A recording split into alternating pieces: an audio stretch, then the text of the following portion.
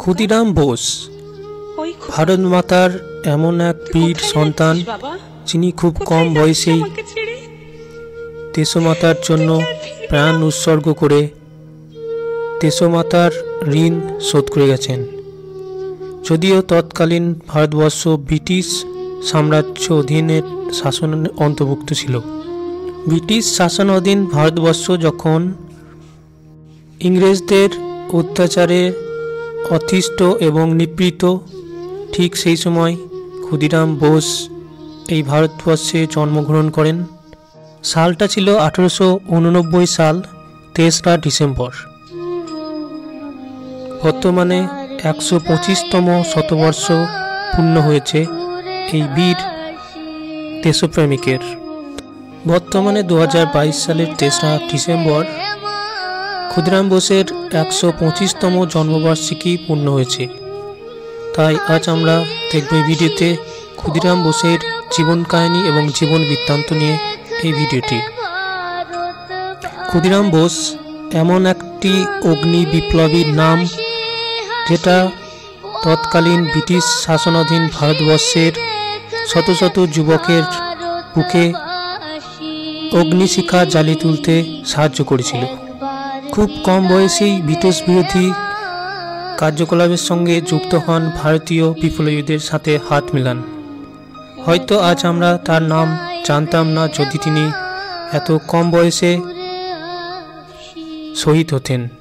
যখন ক্ষুদিরাম বোসের বয়স আঠেরো বছর পূর্ণ হয়নি, ঠিক এই সময় ব্রিটিশ বিরোধী কার্যকলাপের জন্য তাকে ফাঁসি দেওয়া হয়। আর এই সময় তিনি হাসতে হাসতে ফাঁসির তরি পড়ে নেন। হয়তো ব্রিটিশ সরকার ভেবেছিল ক্ষুদিরাম বোসকে ফাঁসি দিয়ে মেরে ফেলা যাবে। কিন্তু এই ঘটনা শত শত যুবকের মনে হাজারো হাজারো ক্ষুদিরামের জন্ম দিয়ে গিয়েছিল, যা ব্রিটিশ শাসনের পক্ষে খুবই ভীতির সঞ্চার। ভারত মাতার এই বীর সন্তানের ফাঁসি হওয়ার পর তাকে নিয়ে রচিত হয় গান এবং তিনি আমাদের মধ্যে জীবিত থাকেন, অমর হয়ে রয়েছেন আজও।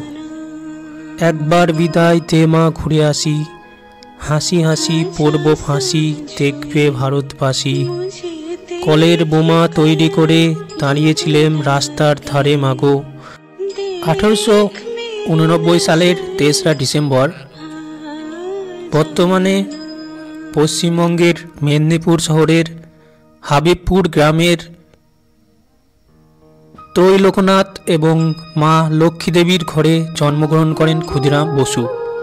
এটা ছিল তৎকালীন ব্রিটিশ ভারতের বেঙ্গল প্রেসিডেন্সির অন্তর্গত। তার নাম ক্ষুদিরাম হওয়ার পেছনেও একটা ঘটনা রয়েছে। ক্ষুদিরামের জন্মের ঠিক আগে তার দুই দাদা শিশু অবস্থাতেই মারা যান। সেই সময় মানুষের মনে একটা অন্ধবিশ্বাস ছিল যে শিশু জন্মানোর পর যদি কোনো আত্মীয় তাকে করি অথবা খুদ দিয়ে কিনে নেন, তাহলে সেই শিশুর অকাল মৃত্যু হবে না। এই অন্ধবিশ্বাসে এসে সন্তানের প্রাণ বাঁচাতে তার মা তিন মুঠো খুদের বিনিময় তাকে বিক্রি করে দিয়েছিলেন মাসির কাছে। এই জন্যই তার নাম হয় ক্ষুদিরাম। ক্ষুদিরামের বাল্যকাল ছিল খুবই মর্মপস্যী ক্ষুদিরাম শৈশব থেকেই দুরন্ত প্রকৃতির ছিলেন, আর তার সঙ্গে বিপ্লবী চেতনার ছোঁয়া পেয়ে তিনি যেন এক অগ্নি ফুলিঙ্গ হয়ে উঠলেন। শৈশবেই মা বাবাকে হারিয়েছিলেন ক্ষুদিরাম, তাই বড় হয়ে উঠলেন দিদি অপরূপার কাছে। এদিকে তখন স্বদেশী আন্দোলনের জোয়ার বয়ে চলেছে ভারতবর্ষে। প্রাথমিক শিক্ষা শুরু হয় তমলুকের হ্যামিল্টন স্কুলে। তারপর ভর্তি হন মেদিনীপুরের কলেজিয়েট স্কুলে। এই কলেজিয়েট স্কুলে শিক্ষক হিসাবে পেলেন সত্যেন্দ্রনাথ বসুকে গুরু হিসাবে, যিনি সিক্রেট সোসাইটি বা গুপ্ত সমিতির নেতা ছিলেন। দেশের প্রতি ক্ষুদিরামের ভালোবাসা দেখে সত্যনাথ বসু ক্ষুদিরামকে গুপ্ত সমিতির সদস্য করেন এবং অল্প কদিনের মধ্যেই লাঠি খেলা তলোয়ার চালানো, কুস্তি করা, বন্দুক চালানো, ঘোড়ায় চড়া সব কিছুতেই পারদর্শী হয়ে ওঠেন তিনি। এই থেকেই শুরু হয় তার বৈপ্লবিক কর্মকাণ্ড। দেশকে স্বাধীন করার জন্য নির্ভয়ে এগিয়ে যান তিনি। এরপর শুরু হয় বৈপ্লবিক কর্মকাণ্ড। বিপ্লবী জীবনে অভিষেক ঘটে মেদিনীপুরে।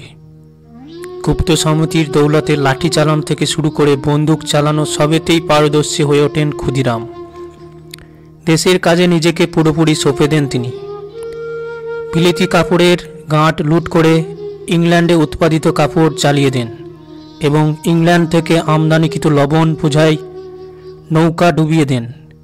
সত্যনাথ বসুর নির্দেশে ব্রিটিশ বিরোধী সোনার বাংলা লিফলেট বিক্রি করেন।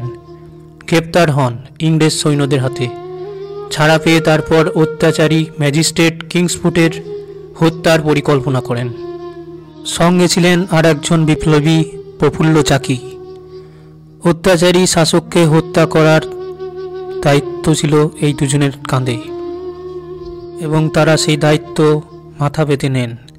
অত্যাচারী শাসককে হত্যা করে ভারতবর্ষের স্বাধীনতার পথকে প্রশস্ত করার দায়িত্ব নেন তারা। মাত্র ষোলো বছর বয়সে প্রথমবার ব্রিটিশদের বিরুদ্ধে লড়াই করতে হাতে বোমা তুলে নেন ক্ষুদিরাম। অত্যাচারী ব্রিটিশ প্রশাসক কিংসফোর্ডকে হত্যা করার জন্য মুজাফরপুরে পাঠানো হয় ক্ষুদিরাম ও প্রফুল্ল চাকিকে। সেখানে হরেন সরকার নাম নিয়ে এক ধর্মশালায় থাকতে শুরু করেন ক্ষুদিরাম। বোমা নিক্ষেপ করার পর রেল লাইন ধরে পালিয়ে যান ক্ষুদিরাম ও প্রফুল্ল চাকি। পরের দিন ভোরবেলা পুলিশের হাতে ধরা পড়েন ক্ষুদিরাম। কয়েকদিন পর ধরা পড়েন প্রফুল্ল চাকি, কিন্তু তিনি নিজেকে গুলি করে আত্মঘাতী করেন। ক্ষুদিরামের বিরুদ্ধে মামলা উঠল কোর্টে উনিশশো সালের এগারোই আগস্ট ফাঁসির দিন ধার্য করা হলো তার। ফাঁসির জন্য প্রস্তুত হলো পনেরো ফুট উঁচু ফাঁসির মঞ্চ।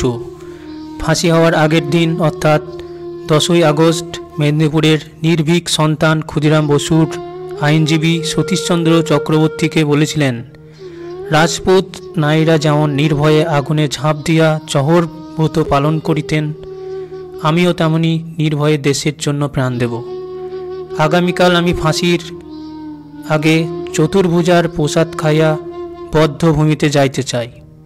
এরপর ফাঁসির মঞ্চে উপস্থিত হলে তার গলায় ফাঁসির দড়ি পরানো হয় এবং তিনি সঙ্গে সঙ্গে জল্লাদকে একটা প্রশ্ন করেছিলেন, নির্দ্বিধায় নিঃসংকোচে চিন্তাহীনভাবে ফাঁসির দড়িতে মোম দেওয়া হয় কেন?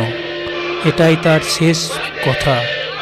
যা শুনে চমকে গিয়েছিলেন জল্লাদও। এমনকি ফাঁসির ঠিক আগের শেষ ইচ্ছা হিসাবে তিনি বলেছিলেন, ব্রিটিশ সরকারের অনুমতি পেলে তিনি তার বোমা বানানোর শিক্ষা ভারতবর্ষের অন্যান্য যুবকদেরও শিখিয়ে যেতে চান।